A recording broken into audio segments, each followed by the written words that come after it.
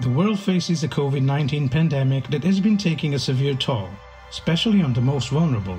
In only two months, over 220 innovative solutions for COVID 19 related problems have been developed by citizens.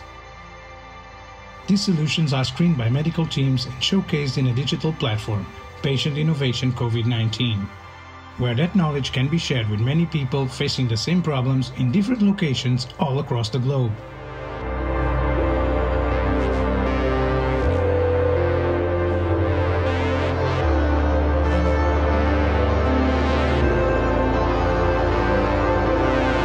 In our research, we found that sometimes patients as well as their informal caregivers are actually able to develop very innovative solutions to help them cope with their diseases. As a result of that, we created a platform to facilitate the sharing of these medical solutions by patients and informal caregivers from around the world. In a short period of time, we have now a community of over 100,000 frequent users, more than 1.3 million users every year that have shared with us more than 2,000 medical solutions. Of those, about 1,300 have been medically validated by our medical team.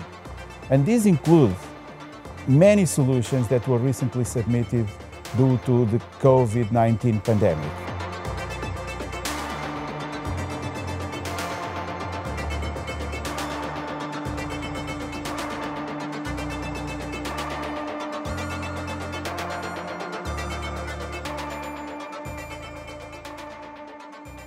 So in a short period of time, in fact, we have now a collection of about 220 solutions that were developed for COVID-19 and our work has been about sharing these solutions so that what can be helpful for one patient, say in Portugal, can then be replicated and be used by patients from around the world.